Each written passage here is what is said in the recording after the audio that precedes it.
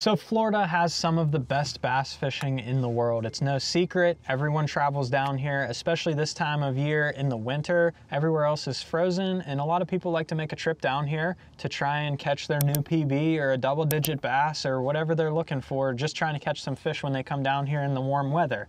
Today, I've been bass fishing in Florida for almost five years now. I've never fished in Florida before these past five years. I've been from the Northeast. I've lived up there my entire life. Um, I met my fiance, now fiance, and started coming to Florida and bringing my boat with me and fishing down here in Florida. I learned so much over the times that I've been coming down here, and I want to break down all these tricks that I've learned from Florida locals I've fished with, friends that I have that live down here, guides I've fished with, and just my fishing experiences on my own. Uh, if you're interested in making a trip down here to Florida, you're going to want to watch this entire video. I'm going to break down everything you need to know from bait selection, where you want to fish, how to find the fish, uh, and we're actually going to go out on the water, hopefully put it all together and catch a fish out here and really show you the biggest key on what I like to do when I'm fishing down here in Florida. So stay tuned and let's get right into it. So the first thing we're going to run through is our bait selection and kind of rod and reel selection. So if you're from the north and you're traveling down here, you probably have a lot of spinning rods and you probably have a lot of lighter casting gear. You do need to invest in some heavier stuff if you're gonna come down here and fish. Not saying you cannot fish with a spinning rod. I just caught a seven pounder minutes ago on a spinning rod down here in Florida. It'll be in a different video, uh, but it does work. You, you can use a spinning rod, you can use some of this other stuff, but there are some techniques that you just cannot touch unless you invest in some heavier gear.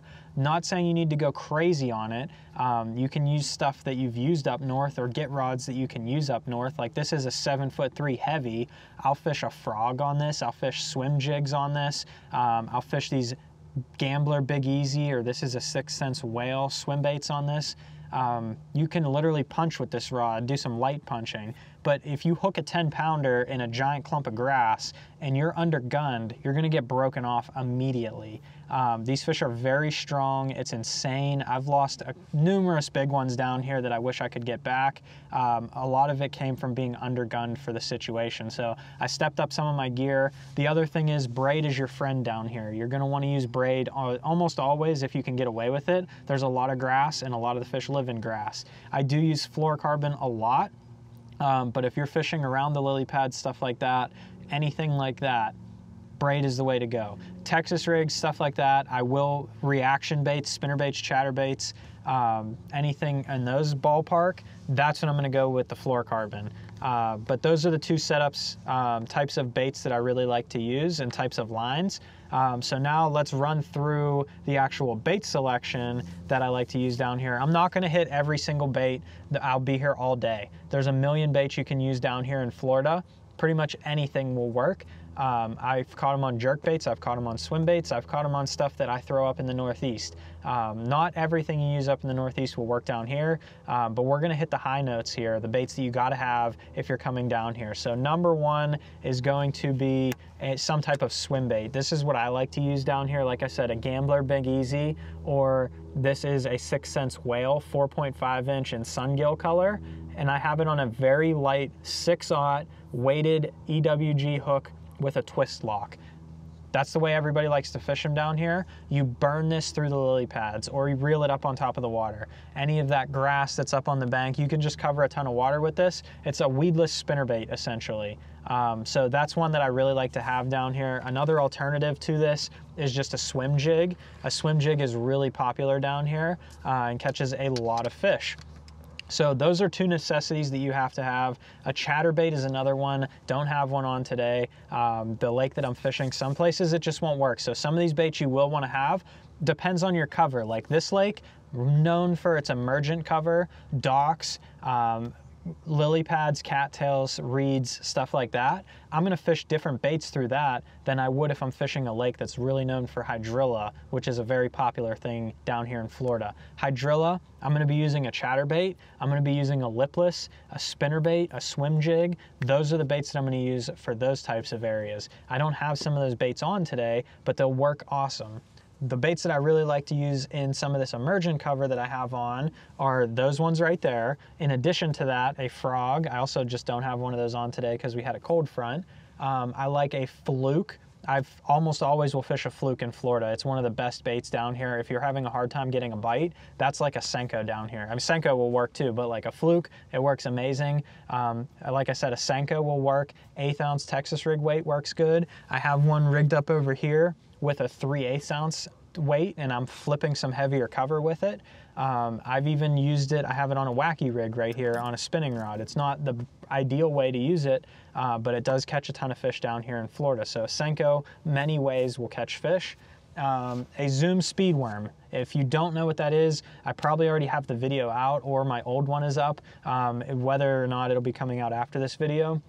The Zoom Speedworm is an awesome one. That's probably my number one bait that I would take to Florida. If you're fishing anywhere in Florida, it will work. It catches a ton of fish, and you absolutely have to have that one on. Um, so definitely bring that one. And then the last one that I really like to fish is going to be this guy right here, which is going to just be a Texas rig, however you want to rig it. Um, whatever bait you want to use, just some type of light Texas rig, 3 16ths or a quarter ounce weight, something you can just drag around, throw around, fish all the different types of cover. I have a 6th Sense Divine Shaky Worm on here, but you can fish anything. You could fish craws, beavers, whatever you want. They'll all work. Um, so that's pretty much it for bait selection. I, like I said, that's a ton of stuff. The last one is top water. I completely forgot about that. A top water, like a prop bait or a walking bait or a whopper plopper, if you love to have fun on a topwater bait, Florida's the place to do it. I've caught more bass on topwater here than any other state. Uh, it actually is amazing down here. So definitely bring your topwaters and a speed worm. Like I said, that's a lot of baits that I just talked about. But if you really want to keep it simple, um, you can keep it simple with some Texas rigs, some some speed worms, chatterbait, anything you'd use in a pond uh, in some top water. You can have a lot of fun with just some basic baits down here. Let's break down a couple other things you need to know, like where to find the key areas and where to find the bass, and then we're gonna show you how to approach these areas out on the water. All right, so I'm gonna give up the Florida secret right now. A lot of people don't wanna share this. Uh, it's a very key piece of information when fishing in Florida. It's a local secret. Um, it's something that I've learned over my trips down here on how to find bass in Florida. If you look behind me, all we have is cattails. There's a lot of them. There's no bass there. And it's not for uh, a reason because they don't want to live there or anything like that. Everything in Florida looks good. That's the first mistake that I ran into when I came down here.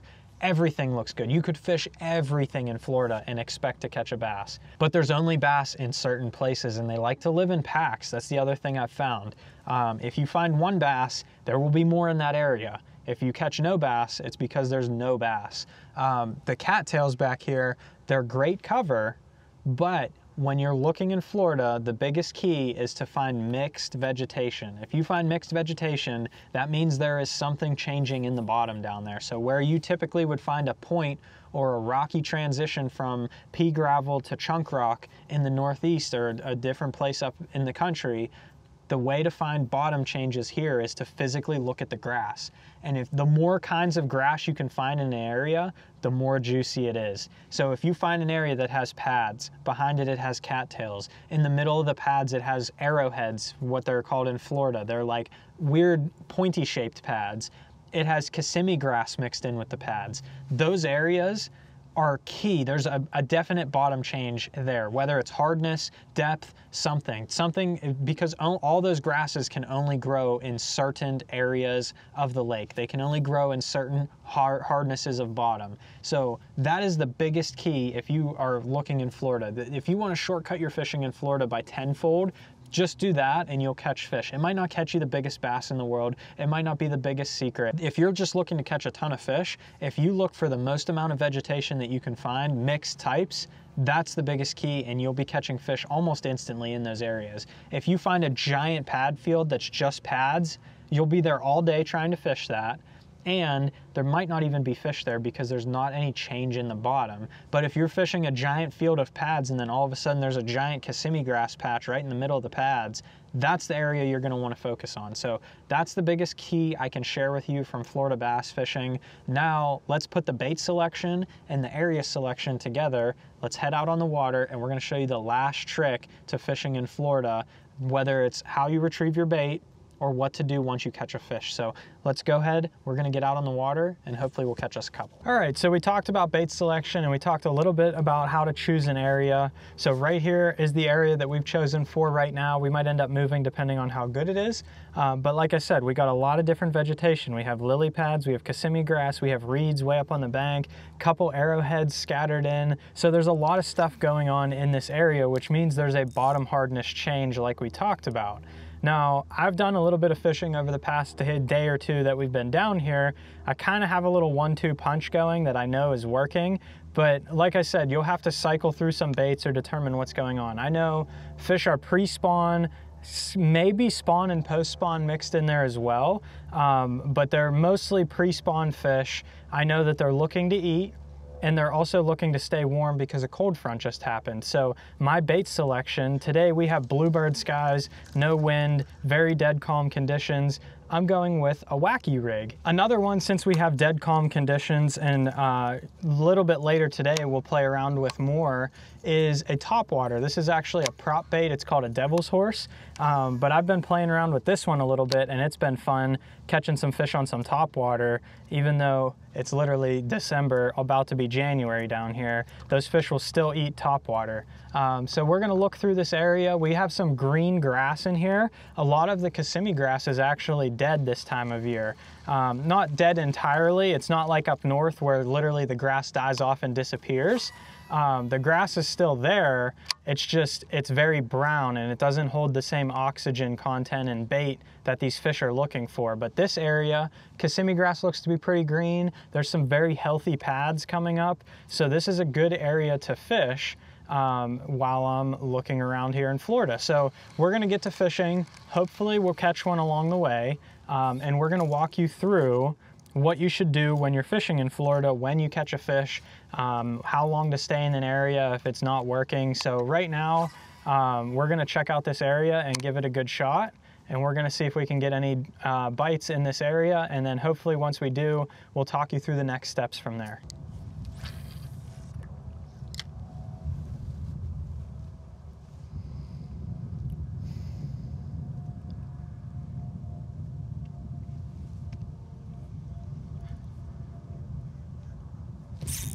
There we go.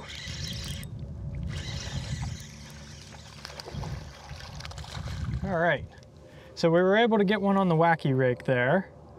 Um, what we're doing is we're fishing down this Kissimmee grass edge and it just changed from a Kissimmee grass lily pad mix to just Kissimmee grass. So there's probably a bottom hardness change right there. The other thing I'm keeping in mind is kind of where I'm catching these fish. So I just caught that fish on a Kissimmee grass edge. Noted it's not a giant one, uh, but if anyone tells you that Florida's just full of 10 pounders and all you do is catch giant fish, they're lying to you. There are so many 12 inch bass in Florida, it's unbelievable, but they are the key to finding the big ones. So the little ones, especially this time of year, if you're fishing down here in the winter months when they're about to spawn, the little ones are the males and they're gonna find the bedding areas first. So I just caught that fish. That's on a staging area. This is not a bedding area, but I just caught that fish. I know he was on a Kissimmee grass edge, so I'm gonna keep fishing Kissimmee grass edges for a little bit longer and see if I can get some other bites. Uh, the other thing in Florida is when you get a bite, always slow down and fish that area thoroughly. It could be a 100 yard section, um, but like I said, that could have been that bottom hardness change right there, or a depth change, or whatever it is. There was something that changed right there, and there's a reason that fish is there. So there could be more in the area general vicinity, whatever. There could be big ones with it. There could just be a bunch of small ones. So from here to the end of this Kissimmee grass where it ends on like a big patch down there, this section could be money. So we're gonna keep fishing slowly down through here and that's the technique in Florida. So I know a lot of places you do the same thing. If you get a bite, you're gonna fish the area more thoroughly, but that's very, very important in Florida, especially because you can't graph the areas down here in Florida once you catch one, that's telling you where the fish are. So like I said, it could be whatever is holding that fish there, but you just want to extra slow down in those areas. Fishing slow in Florida in general is a great way to get bit.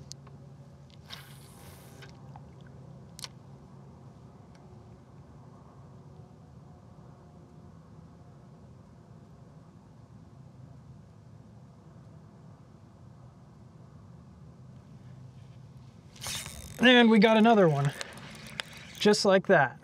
Right at the edge of the Kissimmee grass, right where it ends again, there's another change right here. Let's see if we can get this guy in. Again, also not a big one. As soon as that Kissimmee grass ended right there, we get another bite. So there's obviously something down there on the bottom holding those fish there. That's the key to Florida bass fishing. I hope you guys enjoyed today's video. And if you did and want to see another video breaking down some Florida bass fishing baits, check this one out right here. Hit that subscribe button down below so you don't miss any more of my fishing videos coming up. Thanks for watching. We're going to let this guy go. See you, buddy.